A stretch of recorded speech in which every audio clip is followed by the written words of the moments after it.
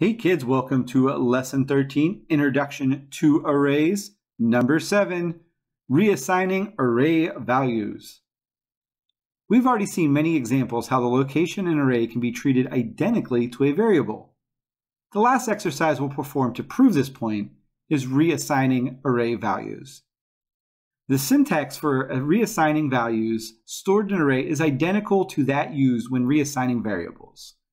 Even the plus plus notation to increase a value by one works. Hmm.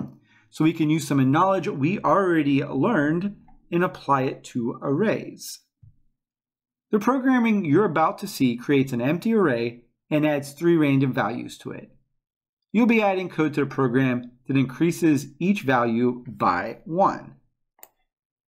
And I remember from previous lessons, let that plus plus just adds one. We have it do this. Add code to the program that increases the value stored at each location in the array by one. Use console.log to confirm that you have correctly increased the values. Below is sample output from one run of the program. Looks like we have original numbers and final numbers. And the final numbers all are just one above the original pretty fun. Let's go take a look at our code. We have our string my numbers. It is currently empty. We are adding three items to my numbers. It's a random number between 1 and 10. We have a console.log statement. It says original numbers, and it's going to print out the numbers.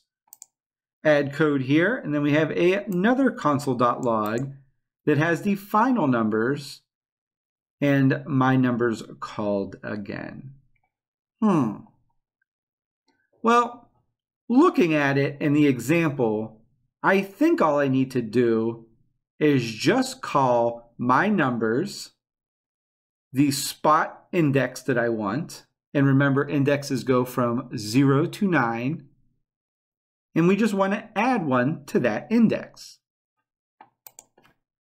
Well, when I think about it, what do I want to do? How do I want to write that out? Well, I want to access the my numbers array.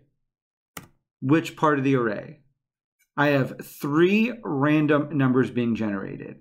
The first spot will be 0, second spot will be 1, and the third spot will be 2. That means I want to access 0, and all I want to do is just add 1 to that. So my numbers, which part of the er, index do I want to access? The second number. And then I just want to add plus one to that. And then finally, our last spot, which will be number two, we want to add one, and don't forget your semicolon at the end. Now when it calls my numbers, it's going to call these new stored values and it'll display the new numbers, which should just be one added to the original.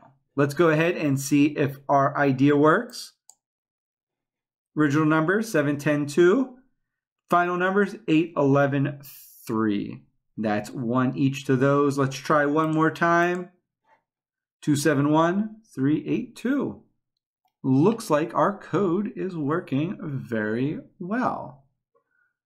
Looking back up here, we did add to our program that increases the value stored by one, and we printed it off. And we displayed that in our debug console. I think that's all code.org wants from us. Let's see if they want anything else. No.